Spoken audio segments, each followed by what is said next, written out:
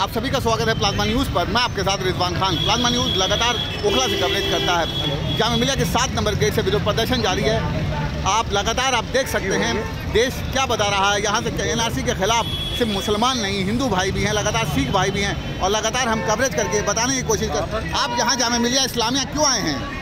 हम अभी नमाज़ को बचाने के लिए, उनको प्रोटेक्ट करने के लिए जो प्रोटेक्शन कर रहे हैं हमारे भाई लोग, बच्चे लोग उनकी सहायता के लिए हम आए हैं। क्या आप एनआरसी के खिलाफ हैं? बिल्कुल खिलाफ हैं। ये देश की आत्मा के साथ खिलवाड़ किया जा रहा है नरेंद्र मोदी सरकार के द्वारा। ये फासिस्ट लोग हैं। जब तक जर्मनी बर्बाद नहीं हो गया था तब तक लोग हिटलर को भी अच्छा मानते थे। देश में हिटलर राज हो रहा है। इसके हम खिलाफ हैं सख्त खिलाफ हैं। कहीं ना कहीं हिंदू भाई भी जामिया मिलिया इस्लामिया क्या वाकई आप एनआरसी और सीए के खिलाफ हैं? जी बिल्कुल खिलाफ है। ये भेदभाव करता है। हमारे संविधान के खिलाफ है भारतीयता के खिलाफ है।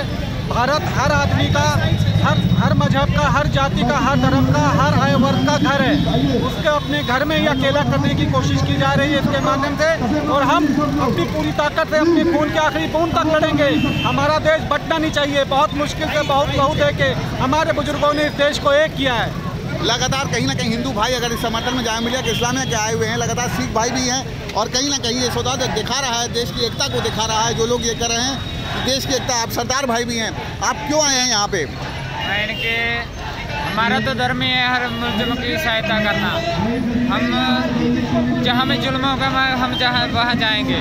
क्या आप मान रहे सरकार जुल्म कर रही है? हाँ बहुत ज़्यादा जुल्म कर रही है ये। हम पर भी उन्नीस सौ चौरासी में यहाँ जुल्म हुआ था। हमारे भी गलों में टायर पड़े थे। अब यही वही जुल्म इन पर हो रहा है।